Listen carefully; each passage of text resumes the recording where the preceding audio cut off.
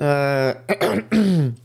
Alors, il se peut que vous me sentiez légèrement irrité durant cette vidéo, et pour cause. Euh, je vais vous montrer pourquoi. Voilà, j'ai deux casques, et vous allez me dire, mais pourquoi tu as deux casques? Tout simplement parce que euh, j'ai acheté le premier, évidemment, euh, et mon chat a bouffé le câble. Voilà, voilà où on en a rendu le câble. Du coup, voulant terminer cette vidéo et tester un maximum le casque, j'ai décidé d'en racheter un. Sachant que le premier, je l'avais acheté en réduction à la FNAC, qui était à 90 euros, je me suis dit, c'est pas mal quand même. Le deuxième n'étant pas en réduction, donc 120 euros. Déjà, je me dis, bon, bah, 200 euros dans l'histoire. Ça commence à faire cher. Et il se trouve que mon chat a de nouveau bouffé le câble. Donc je me retrouve avec deux casques totalement invendables. Ah ouais, là, je, je, pleure, là, je, pleure du sang, c'est pour vous dire. Ah, je vous avoue que j'ai envie d'encastrer mon chat, là, dans le mur. Mais bon, euh, je pense que si je fais ça, j'aurai la Ligue des défenses contre les maltraitances animales qui me tomberait dessus, et j'ai pas envie. Bon, je l'aime quand même, mon chat, mais... Euh, un peu moins là, hein. Et du coup, je m'excuse par avance, il y aura pas de test micro en direct face cam, euh, parce que, bah ça marche plus le micro évidemment. Je vous montrerai donc euh, des extraits de live, je, ne pourrais pas faire mieux, je suis désolé. Fais chier quoi quand même, fais chier bordel, fais chier non chien Ouais je te traite de chien ouais pire insulte pour un chat. Enfin bon, nous sommes donc sur le Razer Black Shark V2 euh, qui m'avait fait de l'œil parce que je me suis dit pour le prix, il a l'air d'être plutôt pas mal en termes de confort, en termes de qualité micro, à voir pour la qualité audio par contre. Si vous voulez un détail de l'unboxing, je vous invite à regarder cette vidéo. Je pense que normalement je pointe du bon côté euh, pour voir un peu plus en détail ce qu'il y a dans la boîte et faire un tour du packaging. Rapidement, vous avez bien évidemment le casque. Vous avez avec une prise USB donc vers jack qui sert de carte son pour le casque. Il n'a seulement qu'une prise jack simple. Donc si vous voulez séparer le micro du casque, il faudra acheter un adaptateur qui sépare les deux sorties. Enfin la sortie et l'entrée plutôt. Vous avez bien évidemment le micro qui se branche en simple jack, mais il y a un petit détrompeur. Donc attention si vous voulez rajouter un autre micro comme un certain micro que je vais vous présenter bientôt sur la chaîne. Il y a donc un sens et voilà, il se branche sur l'oreillette gauche. Et enfin, vous avez un petit sac de transport en tissu classique, pas rembourré, donc euh, attention, il peut être sujet au choc le casque. Alors pour le design, ça va être très rapide parce que à chaque fois c'est les goûts les couleurs, mais voilà, on est sur un casque sobre, chose assez rare chez Razer d'avoir des produits sobres. Razer n'hésitant pas à avoir la main lourde sur le RGB, là on a absolument aucun RGB, un casque intégralement noir, très sobre, très classe pour le coup, avec quelques touches de vert qui est leur couleur, donc avec les logos Razer sur chaque oreillette et le petit fil ici qui passe de l'arceau au casque, pareil en vert, donc voilà, des petites touches vertes. Finalement, ça fait un casque très sobre, très classe, comme je l'ai dit, et moi, j'aime beaucoup. Après, du RGB sur le casque,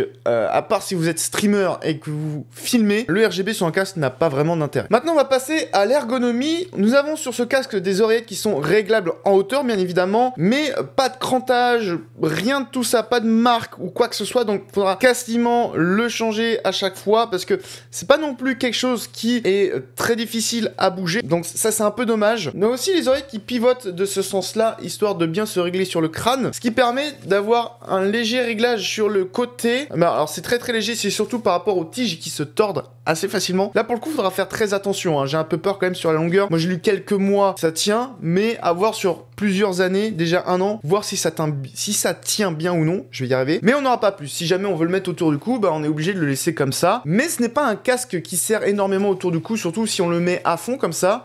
Et ensuite, bah, on aura juste à le réajuster, ce qui se fait très rapidement lorsqu'on le met sur la tête. On aura une petite molette sur la gauche qui va régler le son Windows et rien d'autre. On aura un petit bouton juste ici pour couper ou euh, allumer le micro. Donc lorsqu'on pose le casque sur la tête, le bouton sera sur le côté gauche à l'arrière, ce qui fait que c'est très facile et très rapide de l'atteindre avec le pouce. Pas de euh, prise détachable sur le fil. Vous vous doutez bien, sinon euh, je n'aurais pas dû racheter de casque et il serait pas fichu. Donc très très gros point négatif pour le coup. Donc si jamais le câble casse, vous aurez seulement deux choix. Soit vous le réparez vous-même, euh, chose qui est un peu plus compliquée sur des micro-casques, soit vous changez de casque. Et là, ça fait mal. Alors, on a le micro qui est détachable, qui se fixe donc sur le casque, chose qui est assez sympa parce que comme c'est un casque assez sobre, vous pouvez l'emporter avec vous pour écouter de la musique en pleine rue, en pleine ville. On a un petit L et R sur euh, les bords ici pour permettre de se repérer, pour savoir dans quel sens mettre le casque. du coup, aussi pour revenir un peu sur ce câble tressé, j'avais dit dans la vidéo unboxing que bah, j'étais content que ce soit un câble tressé qui sont généralement des câbles qui sont plus résistants que des câbles euh, gainés euh, classiques. Mais en fait,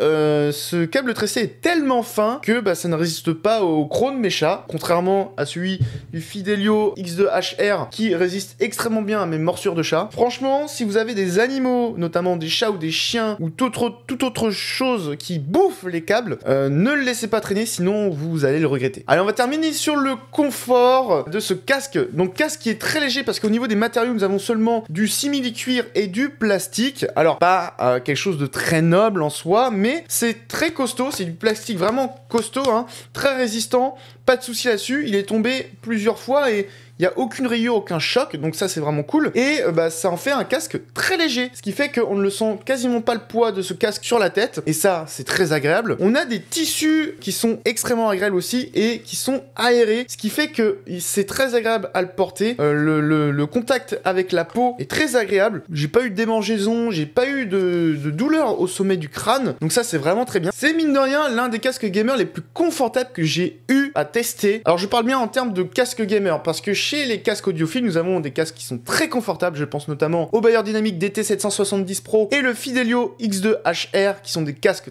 très très confortable. Mais voilà, en termes de casque gamer, je pense que c'est le casque le plus confortable que j'ai pu tester avec ces vraiment ces coussinets en tissu vraiment très moelleux, très bien aéré. D'ailleurs, le casque chauffe très peu les oreilles pour un casque fermé, c'est plutôt cool. Et sa légèreté en font que bah euh, c'est vraiment top. Et pour régler le, la hauteur des oreillettes, que je conseille c'est de mettre tout à fond, simplement venir poser le casque sur votre tête et de venir glisser jusqu'à ce que ça vous convienne. Une fois que c'est fait, le casque ne bouge plus, la hauteur ne bouge plus. C'est un casque qui tient très bien sur la tête. On peut bouger assez facilement la tête assez rapidement sans que le casque vienne s'enlever de la tête. Faut vraiment y aller comme un bourrin pour venir enlever le casque. Alors la qualité audio au niveau des haut-parleurs, au niveau du micro, qu'est-ce que ça donne? Pour la qualité audio, pour moi il est très bon, mais ce n'est pas le meilleur. Pour moi, les casques gamers de chez Sennheiser par exemple, les HyperX Cloud Alpha, Cloud 2 ou des casques audiophiles tels que le Dynamic DT770 Pro ou le Fidelio X2 HR feront un meilleur job, mais au moins nous avons un casque Razer qui a un son quand même relativement détaillé, assez net et une fois des basses qui sont pas énormément prononcées. Euh, c'est assez rare chez un casque Razer qui sont connus pour être des casques très basseux. Là pour le coup ils se sont retenus et c'est pas plus mal. On a de bons aigus et de bons médiums, même si sur les aigus faudra pas pousser trop fort parce que ça peut venir un peu casser les oreilles je trouve. Après nous avons le logiciel Razer Synapse pour venir régler un peu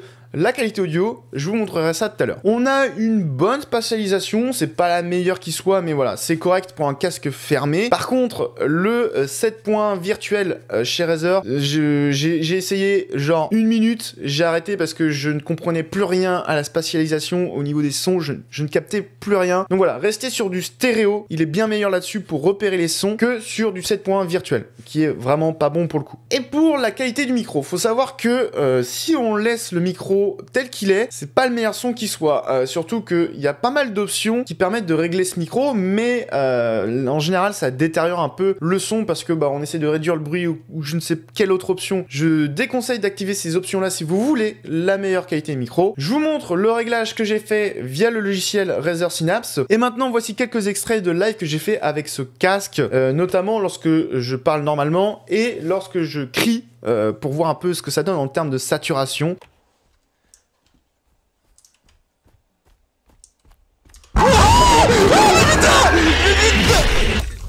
Bipidou Arrête Ah Viens ici Mais arrête Ah Putain mais... Mais d'où Mais comment je fais pour t'échapper Mais... Mais comment Mais comment J'étais euh, j'étais un survivant, je devais trouver du coup les pièces... Ah c'est mieux. Pour réparer... Euh une voiture, donc il faut trouver des roues, trois roues, carburant, euh, je sais pas quoi, des pièces de moteur et tout. Sans éviter de se faire bouffer, évidemment. Et le truc, c'est que lorsqu'on se fait bouffer, on est un rat. Donc on peut soit aider euh, nos camarades survivants en attirant le monstre ailleurs, soit... Euh, ah bah Anissa est morte. Voilà, euh, n'hésitez pas à me dire ce que vous en pensez euh, dans les commentaires. Voilà, on essaye de faire un petit peu, un peu de peu quand même, voilà, pour euh, référencer la vidéo, hein, n'est-ce pas? Faut bien que je la rentabilise un peu cette vidéo parce que, voilà, j'ai deux casques quand même. Après, personnellement, je trouve que c'est un bon micro. C'est la première fois que j'ai un micro aussi bon chez Razer, mine de rien. Alors après, évidemment, faut faire quelques réglages, mais c'est, d'en dire, dans le haut du panier des micro-casques. J'ai vu beaucoup plus dégueu. Alors nous voici sur le logiciel Razer Synapse. Le premier point à savoir, c'est qu'il faut un compte pour pouvoir utiliser le logiciel, sinon ce ne sera pas possible. Donc une fois la prise USB branchée, on peut voir ici le casque apparaître et du coup on aura plusieurs onglets. Le premier c'est le son tout simplement, soit on peut désactiver le son ou le régler. Alors ce qu'il faut savoir c'est que les propriétés THX spatial audio on peut les mettre sur d'autres périphériques comme par exemple ici ma carte son Yamaha, enfin ma ma table de mixage Yamaha ou le casque Oculus etc., etc. Donc ça, c'est plutôt pas mal. On peut faire évidemment plusieurs profils. Donc on peut en ajouter, en apporter, les renommer, copier, exporter et supprimer bien entendu. Et là, là c'est juste un petit message pour dire euh, utilisez notre THX Spatial Audio, c'est vraiment trop cool. On aura un onglet mixeur, tout simplement pour la spatialisation avec le 7.1. Alors moi, je l'ai désactivé parce que je ne trouve pas que ça soit quelque chose d'incroyable. Euh, même je trouve que ça empire en termes de spatialisation. Donc voilà, moi je l'ai désactivé, mais voilà, si vous voulez le mettre, vous pouvez le mettre en auto ou gérer les choses manuellement par euh, type d'application ou par euh, jeu ou programme. Et vous pouvez venir étalonner pardon, la spatialisation. Donc voilà, vous avez plusieurs modes. Voilà, j'ai pas été très loin là-dessus parce que je l'ai pas trouvé très bon encore une fois. On a ensuite l'onglet amélioration. Donc là, c'est pour le casque, le son du casque, avec une possibilité de mettre un boost dans les basses euh, moi, je l'ai mis parce que voilà, je trouve ça sympa, euh, surtout lorsque j'écoute de la musique, j'aime bien quand c'est bien basseux. Euh, on peut faire une normalisation du son, une clarté vocale, donc pour entendre encore mieux les voix, et on peut venir régler l'égaliseur. Voilà, si la signature de ce casque Razer vous plaît pas, vous pouvez venir le faire à votre convenance avec plusieurs, euh, bah, plusieurs programmes. Hein. On a par défaut le mode jeu, le mode film musique et personnalisé. Et enfin, on a la même chose pour le micro. Donc, on peut gérer le volume micro, faire un boost du micro, portail vocal, quelques améliorations avec normalisation du volume, clarté vocale, réduction de bruit ambiant. Mais ça, c'est toujours des options que je déconseille d'activer. Pourquoi? Parce que bah, ça, je trouve, ça réduit la qualité du micro. Et enfin, on a aussi un égaliseur. Et ça, c'est plutôt pas mal parce que ça a permis d'améliorer un peu le son du micro. Parce que lorsqu'il est tout plat, encore une fois, je suis désolé, je vais pas pouvoir vous montrer ça en direct, mais on a une qualité moindre et euh, voilà, c'est un viewer qui m'a dit, hey, utilise ce réglage là, euh, ça permettrait d'avoir une, voix, une qualité un peu plus sympa et effectivement c'est le cas, donc merci à lui. Comme l'égaliseur du casque, vous avez plusieurs profils par défaut. Et enfin le profil personnalisé. Et on peut faire un retour voix, par contre, je ne sais pas pourquoi, il y a un petit décalage et c'est un peu dérangeant. Donc c'est bien pour contrôler rapidement euh, les réglages que l'on a fait, mais ce n'est pas à garder parce que le décalage va vous perturber. Moi en tout cas il me perturbe, peut-être que vous ça ne sera pas le cas, mais voilà, c'est un décalage qui s'entend quand même. Alors, euh, ce casque,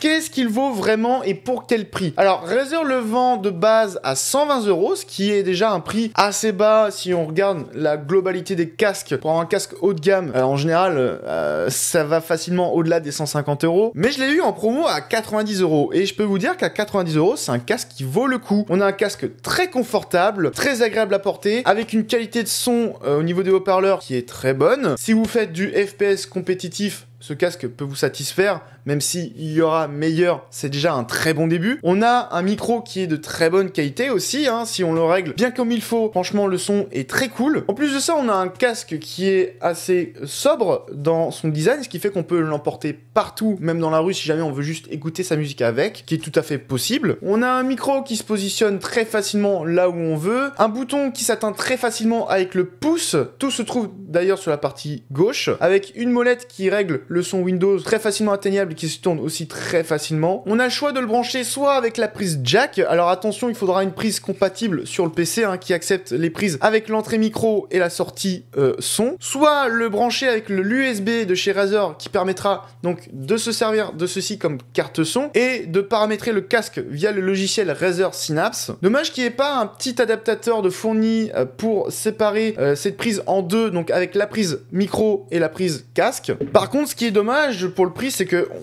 il y aurait pu y avoir des petits crantages pour euh, le réglage en hauteur des oreillettes et quelque chose d'un peu plus, euh, comment dire, résistant pour être sûr que ça ne bouge pas, même si bon, ça ne bouge pas, mais voilà, ça aurait été appréciable. Pourquoi pas un petit réglage sur les côtés pour pouvoir facilement le poser euh, sur les épaules et que ça soit un peu plus agréable si jamais, voilà, on vient de mettre le casque ici. Et évidemment, évidemment, évidemment, hein, soit euh, un fil plus solide, enfin même un fil plus solide si on ne peut pas détacher la prise du casque. Voilà, parce que euh, si c'est pété, c'est pété, c'est mort. Et ça c'est le gros défaut et du coup c'est pour ça que je n'ai plus envie voilà, d'acheter de casques qui ne peuvent pas se détacher là, ou beaucoup beaucoup moins. Ou alors faut vraiment un- une prise qui est vraiment mastoc, massif et qui est vraiment très très solide. Moi j'ai un chat qui est plutôt destructeur là, hein, pour le coup, hein. deux casques ça, ça fait mal, hein. encore je lis.